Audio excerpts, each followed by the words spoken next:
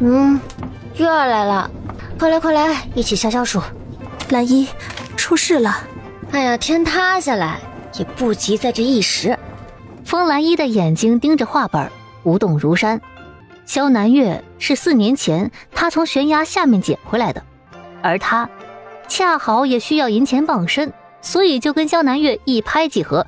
这些年陆续开了首饰铺子、酒楼、药馆这次是真出事了。我刚接到消息，南离太子要出使东漠，莫奇渊现在正在来接你回府的路上。然而，这次他刚把话说完，就发现榻上的人已经不见了。再看去，哎，你要去哪儿？跑路！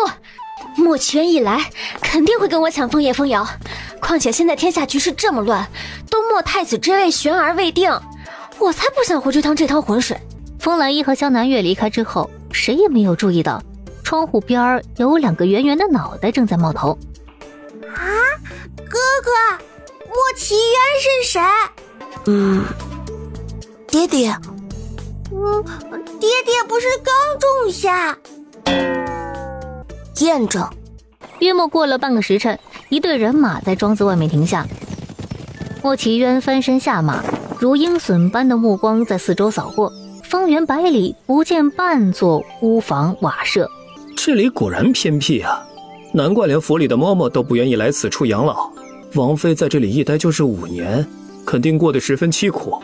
进了内院，有花藤做的秋千，葡萄架下奢华的摇椅，还有旁边桌子上放置的琉璃烧制的酒具。去里面看看。